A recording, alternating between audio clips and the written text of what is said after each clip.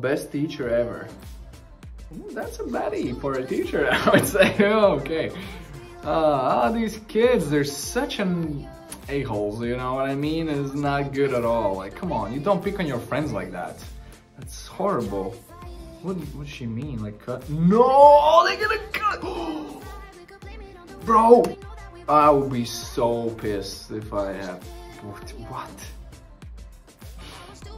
Oh, look at her. She's so nice. Like she, she wants to help her. She's, yeah, yeah, yeah, yeah. Okay, I like where this is going. I like where this is going. No, no, she got a brand new. Yeah, it's AirPods, bro. It's AirPods.